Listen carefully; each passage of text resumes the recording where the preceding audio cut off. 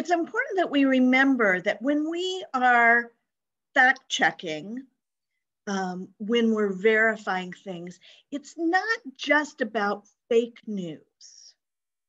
It's not just about there are dolphins in Venice Canal because the water's cleaner or not. Because a lot of times the information that we're reading has some truth to it.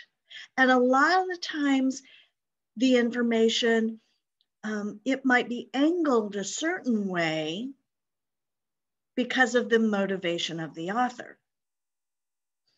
And so when my mom read about um, how masks will poison us, give us CO2 poisoning, some of the information that she was reading about is true. There is a condition where you get too much CO2, and it is true that as we exhale, we exhale CO2. And so there were some truths there. And then she believed everything because she didn't want to wear a mask. John Green says better information, not true or false information, but better information leads to better decision making. So if the more you know about masks and what they do, what they don't do, the advantages, the disadvantages, the best information will lead to the best decision making. Not that you'll ever know everything. People make mistakes, they learn new things, but better information leads to better decision making. And he says it leads to a better world. And honestly, I'd like a better world. So, so let's let's get talking about this. And I've got some examples um, that we're going to work through in discussion format. And, um, and then I have some things that you're going to do as a group. Now, I want to review these three questions that John Green says we should ask every time we encounter information on the web. And the more you do it, the more used to it you'll get. The first one is very, very important. Who is behind the information? What do we know about that person? What perspectives do they have? Do they already hold? What is their authority?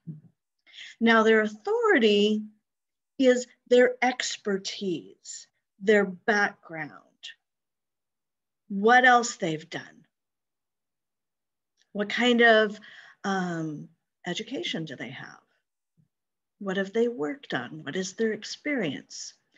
Um, when we think of authority, you might ask a question of um, who do you want um, who do you want your medical care from?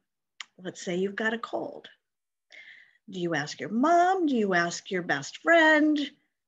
Do you ask a doctor? And you see, when I'm naming these things, do you ask the internet? Uh, when I'm naming all these things, you go, well, my mom's had a lot of colds and she's taken care of me. I've made it all the way to, you know, like if you're 17, 18, 25 years old, your mom, like you survived. So your mom must know something. Um, but let's say you have something that's a little more serious than a cold. Who do you ask? Do you go to your mom? Do you go to a doctor? Your best friend? You want to know that they have some authority, some expertise, some experience. And so we're looking at that. Also, let's say you go on the web and you find a site and it gives you what seems like really good information, but it turns they just want to sell you some vitamins. And that's where we get to the second question. Why are they sharing the information? What's in it for them? What is their purpose? Everybody has a purpose.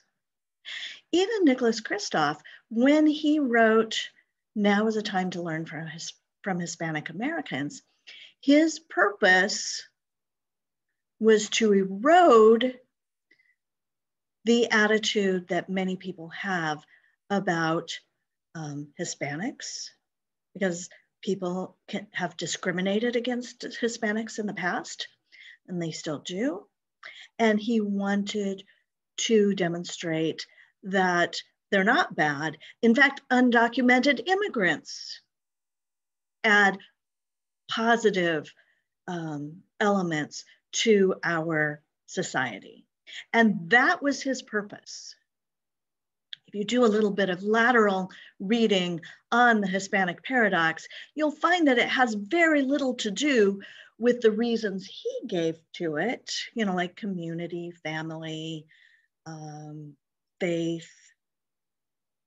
It, it has very, the experts, the researchers don't ascribe it to that, but Kristof had a purpose.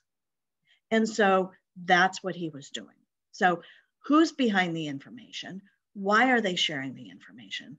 And third, what types of claims are being made?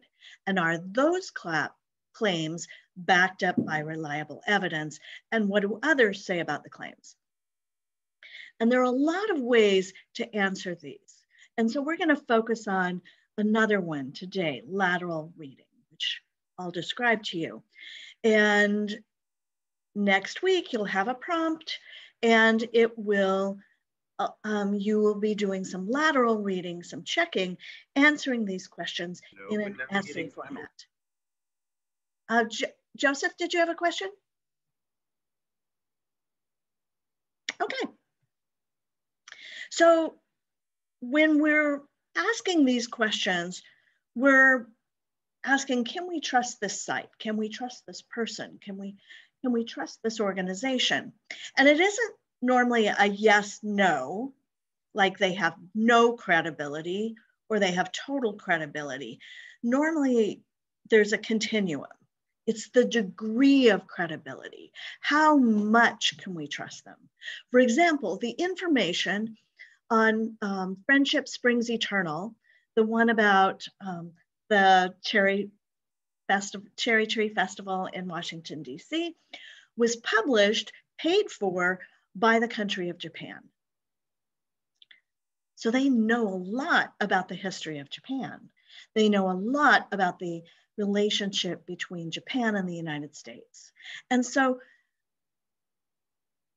there is a degree of credibility, but we also know their purpose is to emphasize that so Americans who read the Washington Post will have a positive feeling about Japan and the relationship about Japan, that they won't be um, concerned about buying things from Japan in, as opposed to things only made in America, because they'll say, oh, these are our friends, um, this is a good thing for us, um, it's building jobs, Japan brings jobs to America.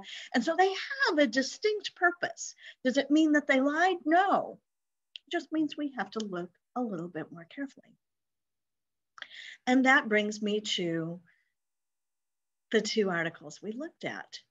Um, one was uh, The Great Transition by Shell Oil, and the other one was an article by Venkatesh Rao, who has a PhD in systems. And he wrote about how, um, I forget the title of this, but it was about the urgency of taking care of climate change now. And Shell Oil says, we've got time. Let's wait to adopt alternative sources of fuel until the price comes down because we don't want to mess up the economy. And the class was mixed. I read all the discussion boards and you all saw that this was a sponsored article, that it was an ad. But it was about half and half. Um,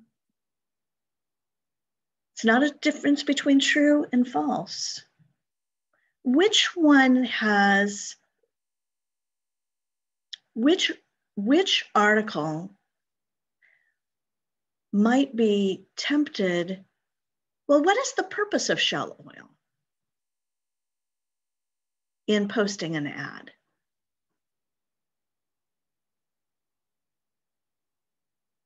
And you can put it in the chat or you can um, just call it out. Ezekiel? I'm guessing that they're going to be trying to promote using fossil fuels, but at the same time, trying to make it sound like them as a business who is using fossil fuels is actually trying to be sustainable, even though it is affecting the environment. Yeah, they make billions of dollars every year of, of extracting, producing, selling fossil fuels.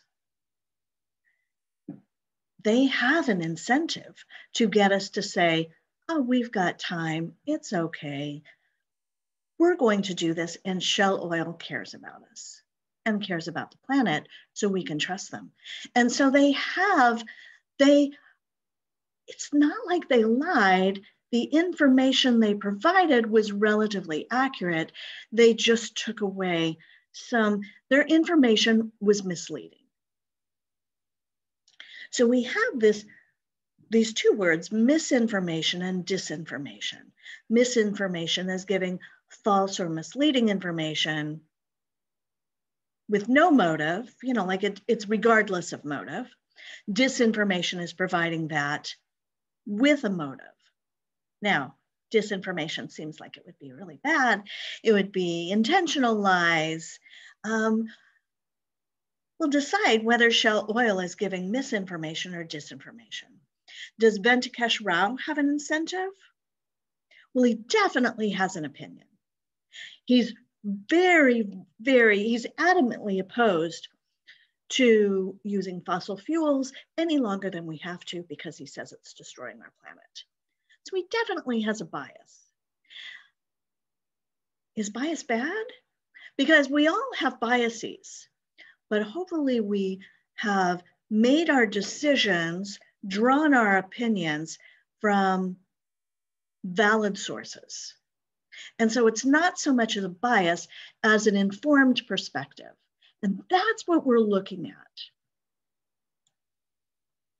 So we want to ask um, Who's behind the information? What is their motive?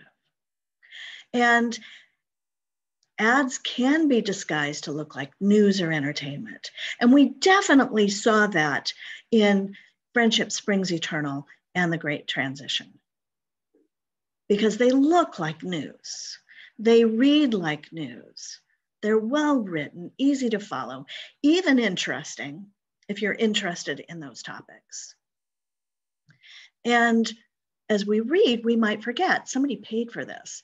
They paid for this, they have a reason for paying for it. What's their motive? Now, it's not always that easy to find these things. Sometimes we have to do a lot of checking. There isn't a little sponsored by at the top of the page. And so we have to really look hard a lot of times we will see things in our socials and we trust the person it came from, just as I trusted my friend who posted about the dolphins and the swans in the Venice Canal until I double checked. And I generally trusted my other friend who posted um, that thing about Trump um, having hundreds of governors contact him. The only thing, that one, I, I actually did believe the one about the dolphins initially, but the one about hundreds of governors, I thought, no, no, he would not say that. I also didn't, but that's a whole other thing. Um, but so we we want to think about who it came from, but even if it came from a friend that we trust, a friend that we think is going to double check things before um, sharing them, we should probably think about it. Now, here's an article you're looking at. FBI agent suspected in Hillary email leaks found dead in apparent murder suicide. Whoa, that seems scary. It looks like a headline from a newspaper. And um, did Hillary Clinton kill the FBI agent? Was, you know, like what happened? And so, what should we think about first when we see something like this in our socials? What are some things we should think about? Go ahead and post it in the chat. What are things we should think about?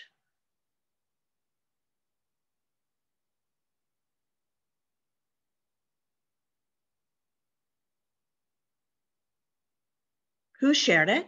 Yeah, definitely. Um, who published it? Yeah, definitely.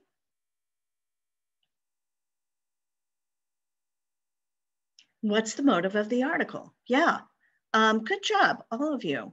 So here, if I, um, if I lit, clip, this is the article, and it's from a web archive. I assume this is my internet's running a little bit slow today. I probably needed to reboot my computer, but I didn't have time. So it came from the Denver Guardian. And so we should think about what is the Denver Guardian? Um, oh yeah, here's the article. I had to find it from the web archive. So it's gonna look a little funky. This is um, the Wayback Machine where you can look at web pages. And it's still loading. Makes sense that the Wayback Machine wouldn't have anything. Let's find out what we can about the Denver Guardian. And so I'm going to type this in. And I'm going to put quotation marks around the name of the newspaper. And the reason why I do that is because if I put quotation marks around a phrase when I'm searching, it looks for that all together. So I'll click on that and see what I can find about, about the Denver Guardian. And so here are, here's Wikipedia. Oh, Wikipedia says the Denver Guardian was a fake news website known for a popular untrue story about Hillary Clinton posted on November 5th, 2016, three days before the election. And it alleged that the FBI agent Clinton um, investigating Clinton had been found dead. And yeah, it got 15 and a half million impressions. That's a lot. Um, let's go back. Um, on November 5th, the same thing this came out, the Denver Post. I actually know the Denver Post because once and upon a time, I delivered the Denver Post when I was um, 14 and 15 years old. And in order to see it, I have to accept cookies. I accept cookies. And um, there's no such thing. The Denver Post, which I know personally to be a trustworthy newspaper, says there's no such thing as the Denver Guardian. Okay, and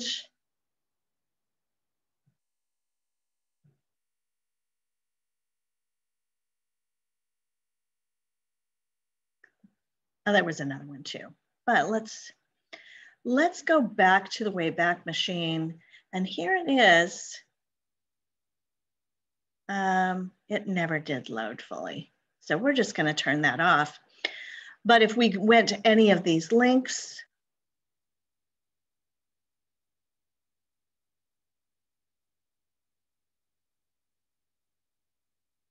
we would just, uh, yeah, here we go anything there?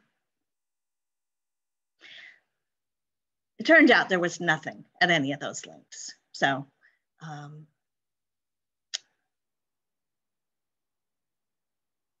so when we see something, instead of believing it right away, we should find out who published it, what do we know about them, what do we know about their motive.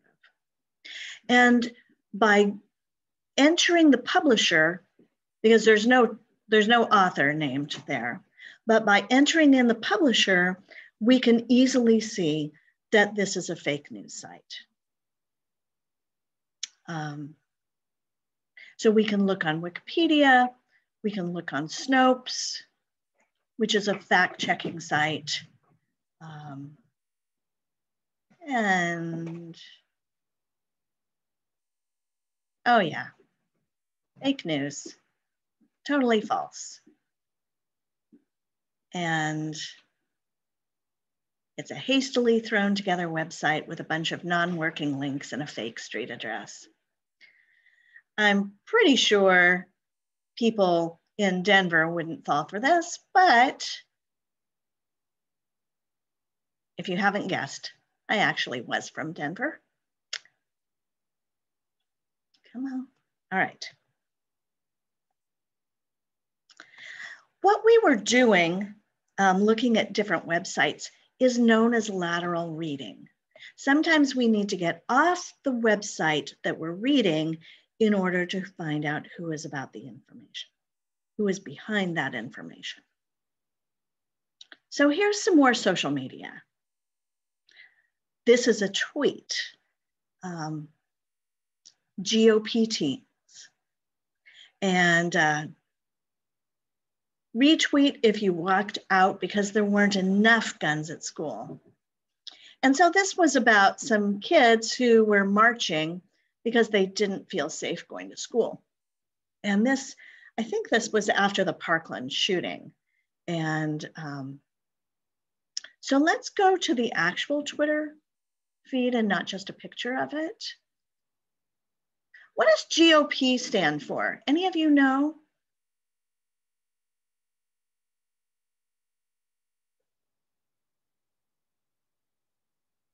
So there's grand old party. Yeah, grand old party, Esteban. Thank you. Yeah, and and who is the grand old party?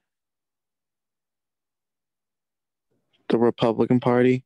Yeah, and so these would be teens who, um, you know, like you can't register to vote if you're 16 years old, um, but you can stand for an organization or stand with an organization. And it appears that GOP Teens is a group of teenagers who stand with the organization. That makes sense. Um, are any of you familiar with GOP Teens already?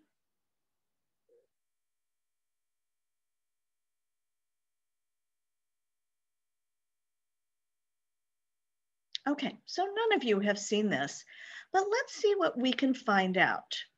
Now I'm going to type in Twitter. Oh, let me go back to that website. Uh, come on.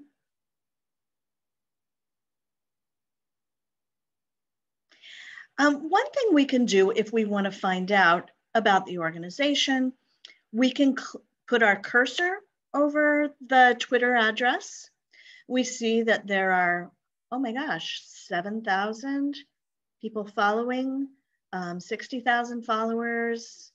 Um, if we click on it, we'll go to the Twitter page itself and um, we can read all about that.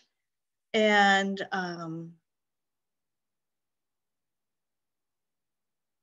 we notice that they're selling some things. Um, that's staying on the site. But we wanted to use lateral reading. GOP Teens, Twitter. And so we do see that.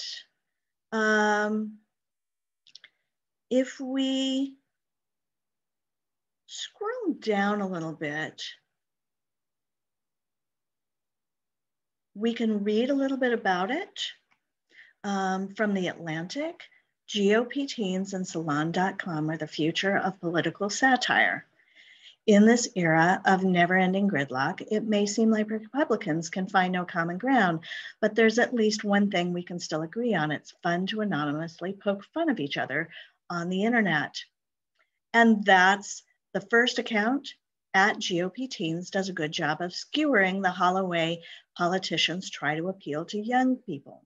Its tweets, which are adorned with a logo of the Republican Party wearing aviator shades, are littered with extraneous hashtags and buzzwords. Okay. Um, here's another one that says it's a comedy gold mine. Is it satire on Reddit? And if we go down a little bit more, we find out that Daniel Jordan Kibblesmith is an American writer and comedian who's written for television, comic books, and he actually created GOP Teens. Um, it's a parody site. And we see that that's where that's from.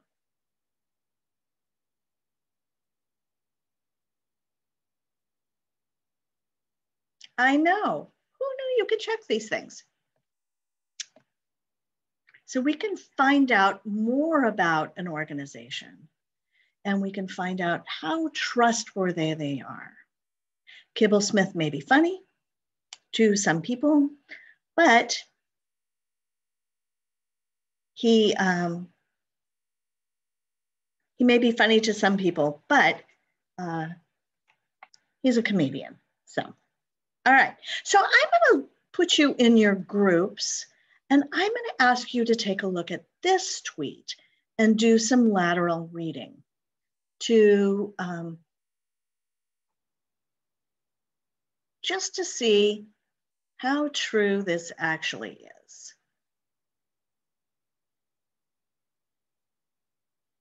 Um, what? Okay. Let me share this link with you.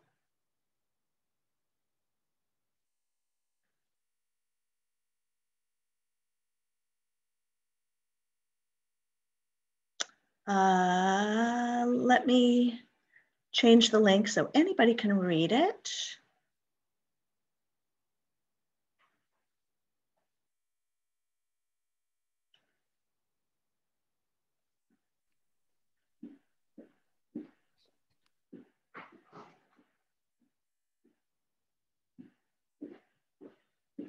Questions about what we're doing right now with lateral reading?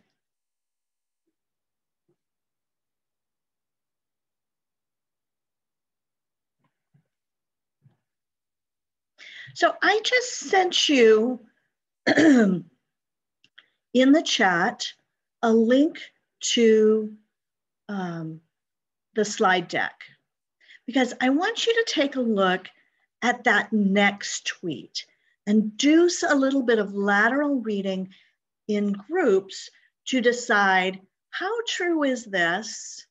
Can you trust the person who made it? Where's it from? What's their authority? Why are they posting it? Okay. Again, it's about gun control. All right. Let me put you into groups. There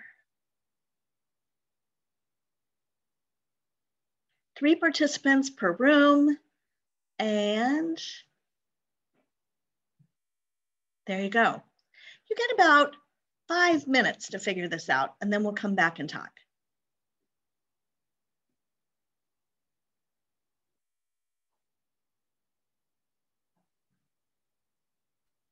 Oh, where are we gonna type that? Are we just gonna present it? Don't type anything. We'll just talk about it. Okay. Mm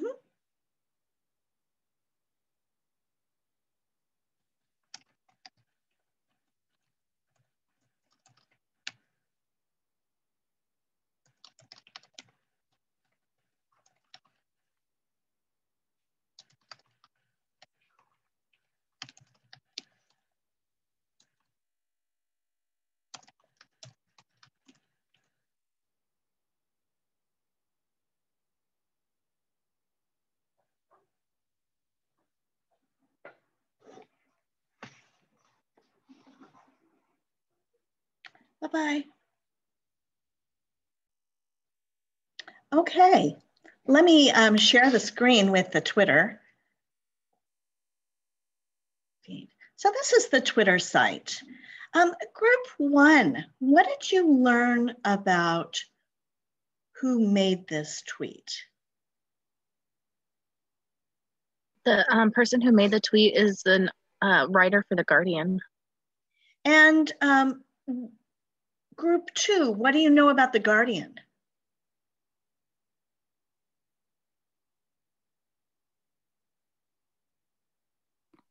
Uh, was I group two? I didn't catch what group I was in. Um, I don't know if you were group two. Okay. Uh, let me find out.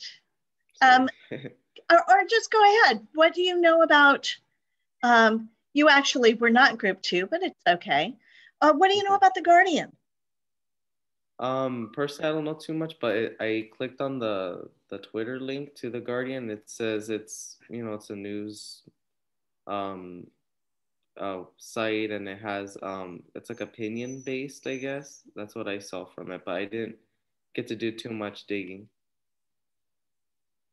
Um, yeah, uh, so th- um, she's a senior reporter for the Guardian US, and we can we can look up um, we can look here, and we'll see her here, and um, we can actually get off the site. Uh, um, Brian posted this on here again. I don't want to donate, but we can look, oh, there she is on the Guardian site, and we know this is the Guardian site. Here are all the articles she's written. And so we know that she, that this isn't a parody site. Um, we know, we can find out about the Guardian by going, um, we can type in the Guardian. Did anybody do this to learn about the Guardian? Because we want to know what it is. Um, their site says it's a British daily newspaper. There's also a Guardian US. And we want to know about them so we can go to Wikipedia and we can read about it. Um, we might want to see the Guardian, the Gar Guardian US. And then we can see it's a New York based newspaper. And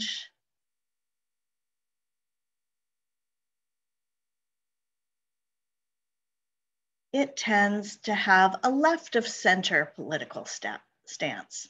So we can expect it to, um, you know, like be in favor of gun control.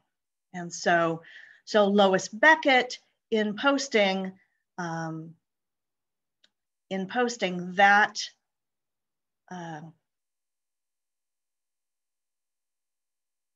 can't get back to my slideshow. Oh, here it is.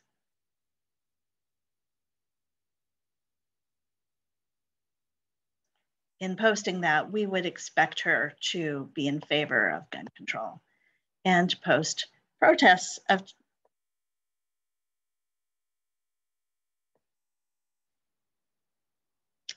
having a hard time. Sorry, I um, I need to get to this. There's a little thing up at the top of my page that, never mind, it's a hard thing to explain. So I'm going to ask you to take a look at an article on the web. It's called Denmark's $1.41 menu. And um, I want you to examine the article. Um, there's a slide with a link to it. It's from an organization called minimumwage.com. And so as a group, I want you to skim the article and just kind of get the main point. And then I want you to copy, I want you to find out who's behind the information. What do you know about them? And so just like we had to find out who is Lois Beckett. We found out she was a reporter for The Guardian. We also had to find out what is The Guardian? So you might have to go a few layers back. So, and then think why are they sharing that information? What perspectives do they hold? Now, I will want you to copy paste the URL on your group slide. So every group has a slide. So th this has the link to the article, and then I just want you to give me the URLs that give you the answer. Because I want you to be able to track, here's what I looked at, here's what I learned, here's how I came to conclusion. Questions about what you're gonna do? So basically, we're just what like if we were we looked up you on Wikipedia information about that site or whatever, whatever information. It's like a works cited page, basically, right? And we just put the link. Yeah, put Okay. the copy paste the URL onto your group slide. All right. And then we'll come back. So I'm going to give you a little bit longer for this, um, maybe six or seven minutes, and then we'll come back and talk about it. And breakout rooms.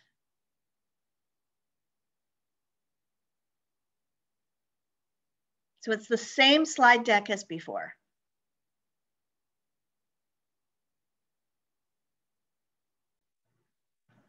Okay. Let's take a look at what you found out.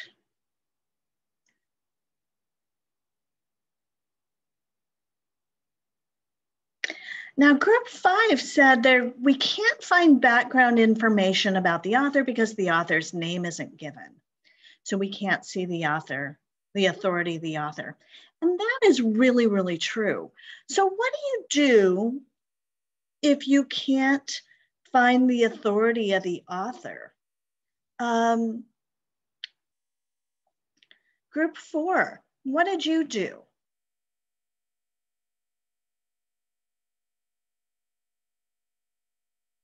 Group four? I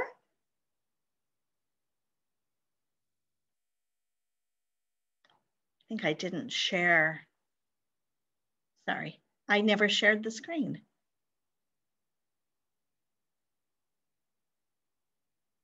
Share. All right, now you can see everything.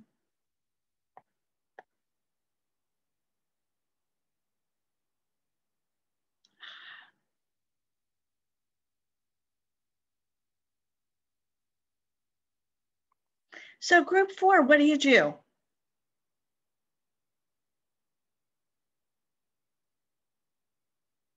Tell me what you were doing to find out what you, um, this would be Brian or Nidia.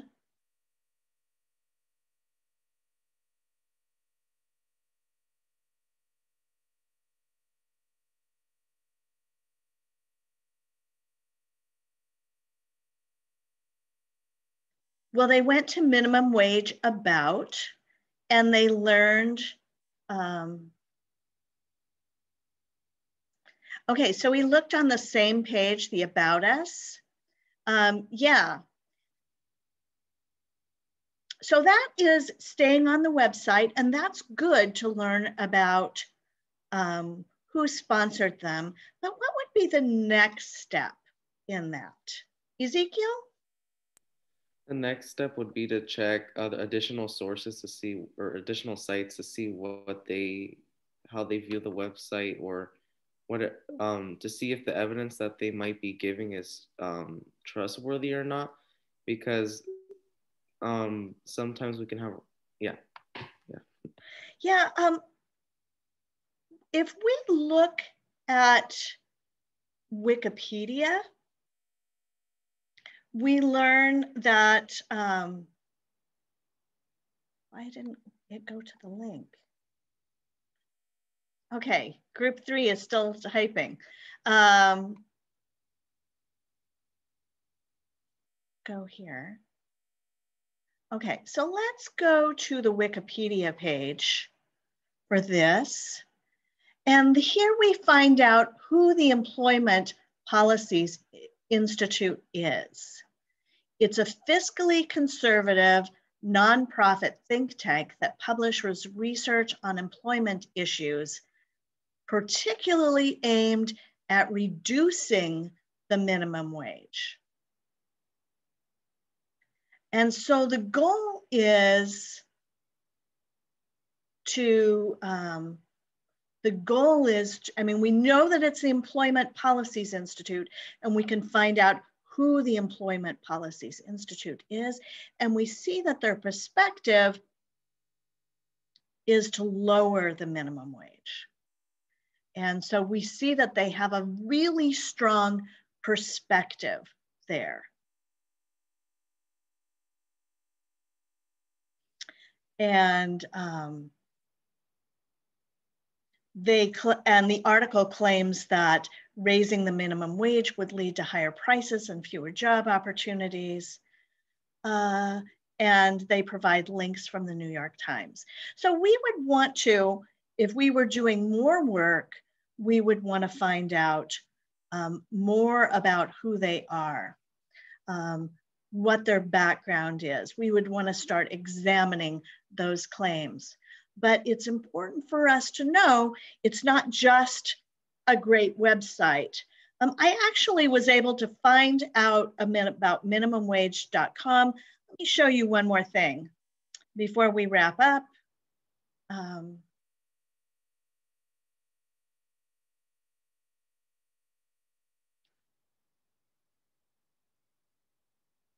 I went to, I put minimumwage.com in quotation marks because I had a hard time finding about them also. And then I looked on Wikipedia and I could find out that here's their perspective. And I found some discussion on it on Reddit. And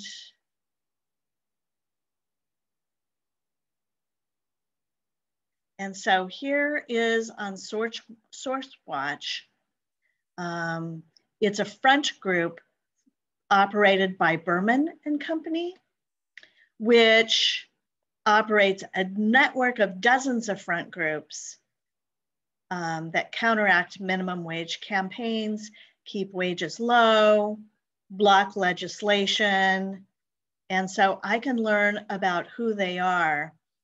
Of course, if I were doing this, I would want to know more about the Citizens for Responsibility and Ethics in Washington, um, as well as the Center for Media and Democracy, which is SourceWorld. And we have to think about what do other people say about them. And so I can go on Reddit and participate in the discussion and critiques on the discussion and sources on those. But I want you to notice that the way I did that is I put the website in quotation marks, and then um, let me see if I take out Wikipedia what I get.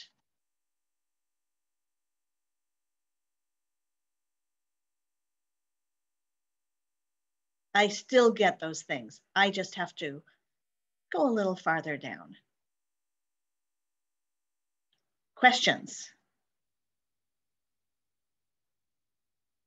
This is what you're doing this week. There's an exercise that asks you to look at an article the, on the Odyssey, and it is also about minimum wage. And so I want you to take a look at that, and you're going to do some um, checking. You're also, Green tells us we can use Wikipedia. So I, on your discussion board, I want you to do some lateral reading on Wikipedia. Find out who's behind Wikipedia. What are others saying about Wikipedia? And then share that. Because Green's, just because Green's saying to use it and that it's good doesn't mean it necessarily is. So any questions before we end this session?